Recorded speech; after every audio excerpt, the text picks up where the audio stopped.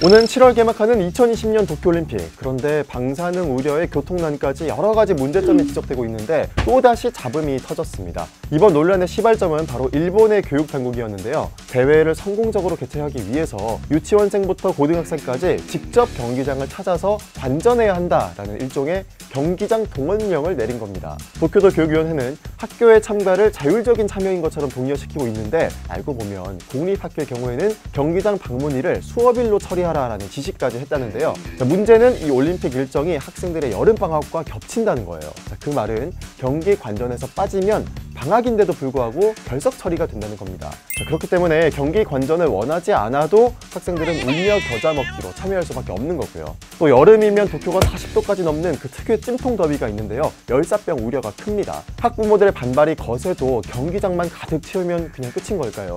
도쿄올림픽까지 남은 기간이 6개월 남짓인데요. 여러 잡음이 끊이지 않고 있는데 과연 성공적인 개최가 가능할지 걱정이 많이 드네요.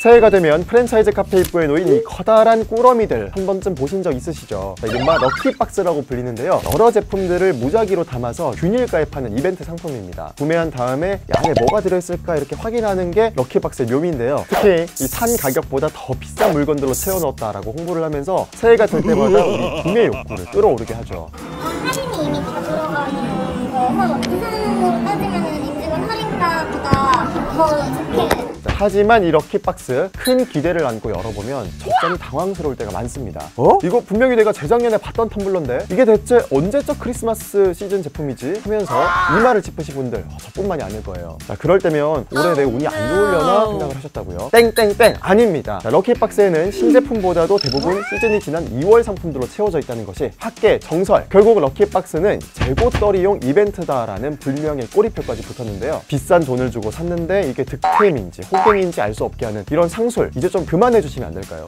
아 이번 주는 그래도 설 연휴가 껴있어서 금요일 쉬니까 너무 행복해요 여러분 금요일 쉬시나요? 구독, 좋아요 눌러주시고요 저는 목요일에 인사드리겠습니다 안녕